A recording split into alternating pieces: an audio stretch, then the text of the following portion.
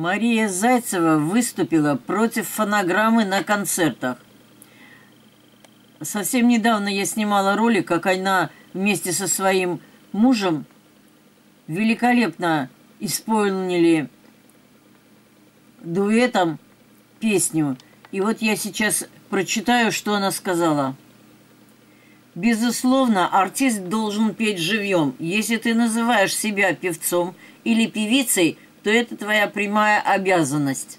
Если в руках артиста находится микрофон, то это априори подразумевает то, что он должен в него петь, а не просто открывать рот, заявила Зайцева.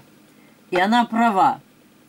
Э, закон существует с 1999 года, но не предусматривает никаких санкций штрафных артистам, которые кривляются под фонограмму. А сейчас это надо было сделать вот с 99 -го года по сегодняшний 2024 год, это почти 25 лет.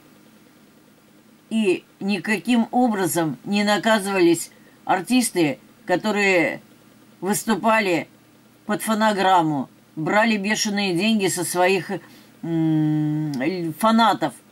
Я, например, ни один концерт не посещала.